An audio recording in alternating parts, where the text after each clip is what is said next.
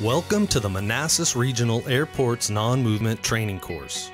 The purpose of this course is to ensure that those individuals requiring non-movement area access are properly trained to operate on taxi lanes, aprons, and on the airport safely and in accordance with the airport's rules and regulations. Access to the airport and operating on the non-movement area is a privilege and may be revoked at any time. The Manassas Regional Airport is a general aviation airport and a designated reliever airport for the Washington, D.C. metro area. The airport is home to a variety of operations flight schools, maintenance stations, charter companies, research and development firms, and full service fixed based operators. General aviation airports like Manassas do not offer any scheduled airline service. The airport is divided into two basic areas movement areas and non movement areas. Movement areas are designed for the movement of aircraft under the guidance of air traffic control. To enter that movement area, you must have permission from air traffic control. An example of movement areas include runways, taxiways, safety areas, and run-up blocks. Please note, all run-up blocks except for the runway 16 left run-up block are in the movement area. Additional training and authorization is required in order to operate on the movement area. Contact Airport Operations for more information. Non-movement areas are all other areas of the airport not under the control of the Air Traffic Control Tower. You do not need permission from air traffic control to operate on a non-movement area. Examples include hangar driveways, aprons, perimeter roads, taxi lanes, and the runway 16 left run-up block. Aircraft always have the right-of-way on a taxi lane. Taxi lanes are not meant for vehicle convenience. Individuals should utilize public roads whenever possible to get to their destination on the airport.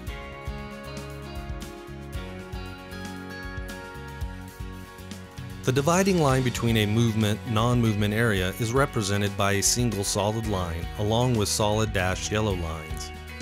When you are positioned on the solid line side of the marking or the non-movement area, clearance is required for you to drive into the movement area. You must have permission from air traffic control in order to proceed. If you find yourself on the other side of this marking, proceed through the dashes. Remember, stop at the solid, move through the dashes. If you are positioned on this marking, you have already entered the movement area. Taxiways are used by aircraft to get to and from the ramp and the runway. Taxiways have yellow markings and blue lights, which help differentiate them from runways. Authorization is required to operate on taxiways. Runways are marked with white numbers at each end, white stripes down the middle, and white lines on the edges. Lighting is an important indicator on a runway. Runways are marked with white lights. Two-sided lights, amber and white, are used on the last 2,000 feet of an instrument runway. At the end of the runway, you may see runway threshold lights, two-sided red and green lights. If you see amber or red lights, you may be approaching the end of the runway. Hold position markings divide the taxiway from the runway boundary. This is also considered the outer limit of the runway safety area. Hold position markings are represented by double solid yellow lines with two dashed lines. These markings are also paired with a runway holding position sign indicating the runway you are holding from. You must always have permission from air traffic control prior to crossing the hold short line from the solid line side. Remember, move through the dashes, stop at the solids. If you are positioned on this marking, you have entered the runway environment.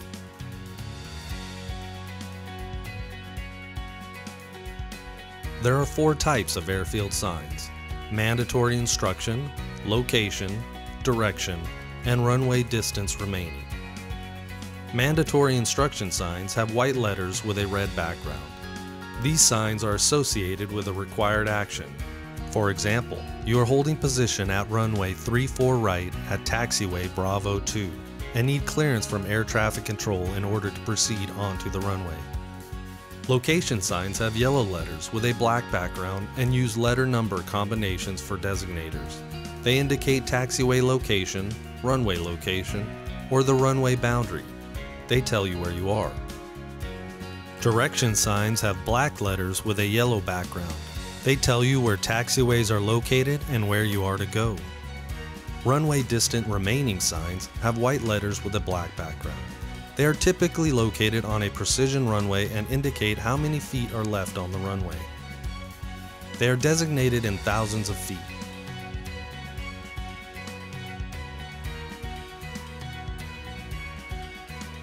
The speed limit for all vehicles operating on the non-movement area is 15 miles per hour. Speed limits along the perimeter roads are posted. Scooters, bicycles, and strollers are not allowed inside the airport. Vehicles operating on the airport must be maintained in general sound mechanical condition to prevent breakdowns and excessive leaking of fluids. All headlights, tail lights, turn signals, brake lights, and hazard lights must be fully operational. Before entering the non-movement area, all vehicles must be operating with their hazards turned on. Support vehicles such as golf carts, forklifts, tugs, and construction vehicles must be equipped with a beacon.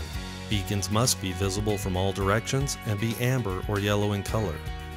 Beacons can be flashing or steady burning. All vehicles operating on the airport should have a window crack down to assist in hearing. Operating aircraft may not always be visible. Aircraft may approach from above. Watch and listen for lights and sirens from emergency response vehicles. Emergency vehicles have the right of way. Individuals should not block or park near vehicle gates. This may impede on the response time of emergency responders. Be careful and maintain a safe distance when working around parked aircraft. Do not proceed behind a running aircraft. This can result in you getting hurt or damage to your vehicle.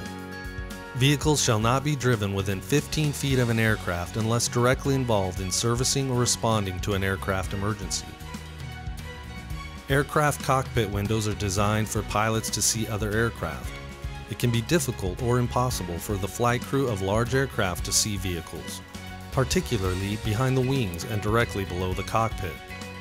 When it is safe, make yourself visible in front of the aircraft. Vehicles must yield to all aircraft. When operating at night, display your front and back tail lights and keep your headlights on low beam.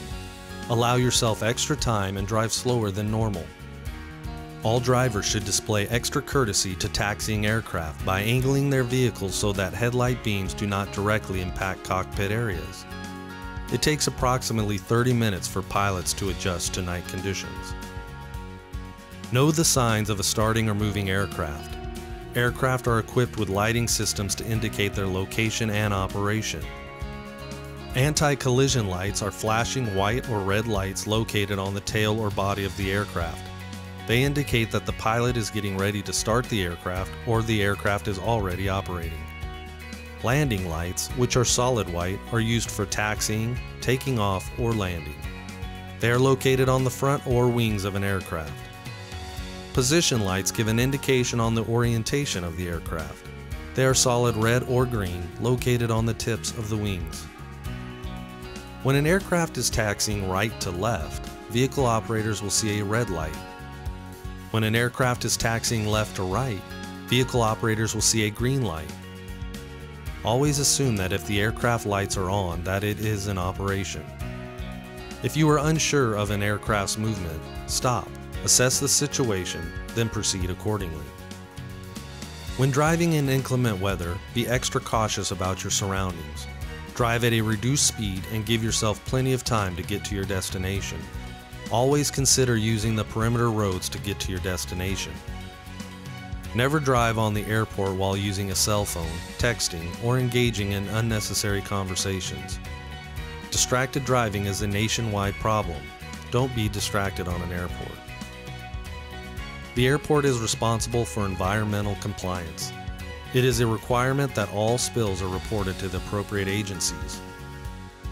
Report any spills of any kind to airport operations at 703 361 5488.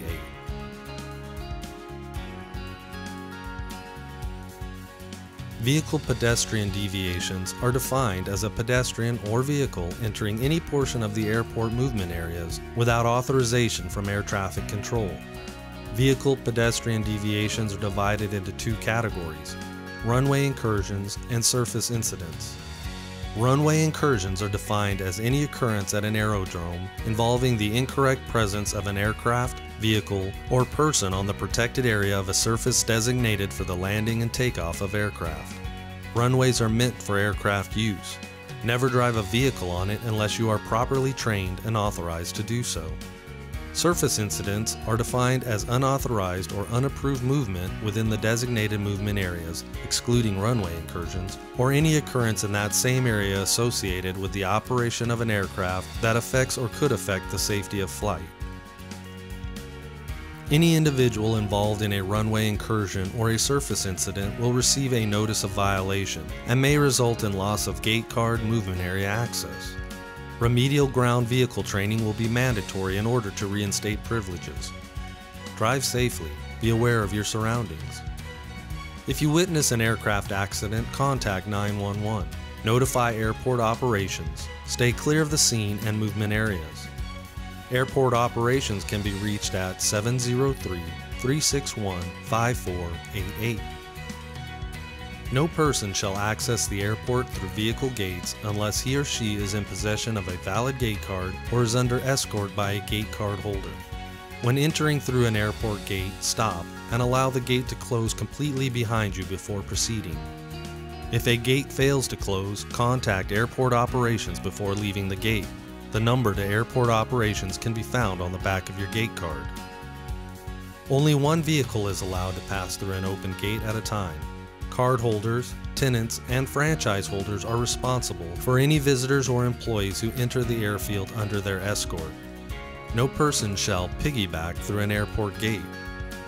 Report any vehicle or pedestrian gate malfunction, breaks in perimeter fencing, or other secured areas to airport operations. Watch out for suspicious vehicles or trucks. If you see something, say something. Call 911. Notify airport operations. If it is a non emergency issue, contact Manassas City Police at 703 257 8000 or Airport Operations at 703 361 5488. City Police and Airport Operations can be reached 24 hours a day.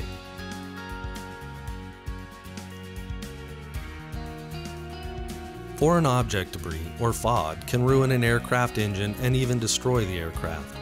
Anything that does not belong on the paved airfield is considered FOD. This could be rocks, tools, paper, even dead animals and birds. Check your vehicle for mud or loose debris before entering the airport. It is everyone's responsibility to clean as you go. If there is FOD on the movement area or any area you cannot reach, report this to airport operations.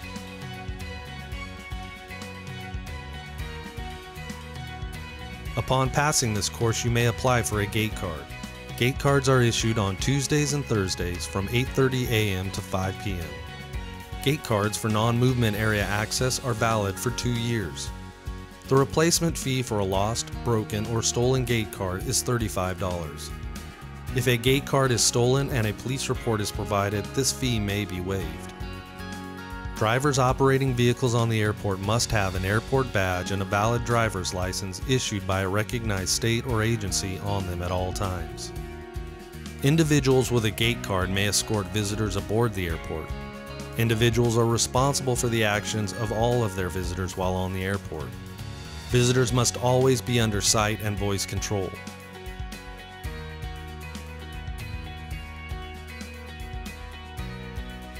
This concludes the non-movement area training course. Please proceed to the non-movement driver training test.